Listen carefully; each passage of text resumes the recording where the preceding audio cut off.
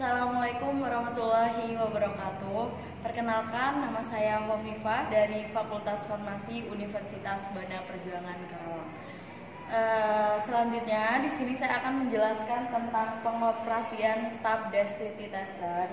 Yang pertama, pastikan adaptor gelas ukur dan silinder tepat pada posisinya. Terus yang kedua, tuangkan bahan ke dalam gelas ukur sesuai dengan keperluan. Terus yang ketiga, uh, sambungan ke sumber listrik. Selanjutnya, tekan pada tombol power on atau off.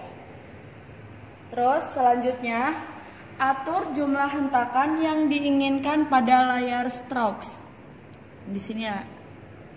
Di situ, bila ingin merubah jumlah hentakan, tekan tombol panah segitiga Lihat angka yang berkedip.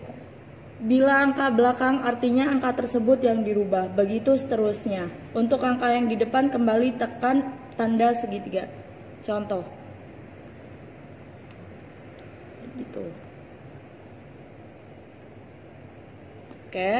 Habis itu untuk menaikkan atau menurunkan tekan tombol segitiga naik atau turun. Sini. Ini turun ini naik.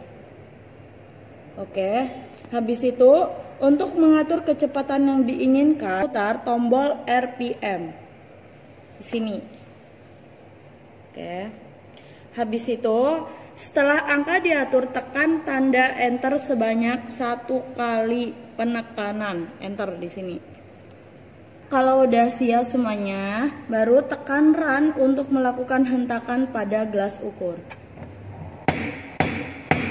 bila ingin menghentikan hentakan, tekan pada hold untuk menghentikan hentakan sementara. Selanjutnya, bila ingin melanjutkan lagi, tekan run.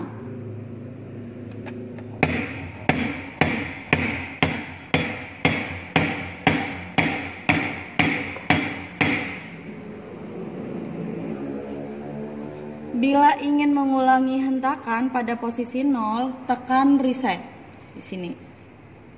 Tuh, mulai dari 0 lagi kan. Habis itu, lihat volume hentakan pada gelas ukur. Misalkan di sini ada bahan, terus lihat volumenya ada di gelas ukur di sini.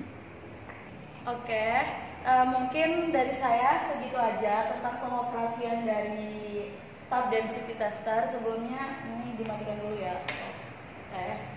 Semoga video ini bermanfaat bagi kalian. Assalamualaikum warahmatullahi wabarakatuh.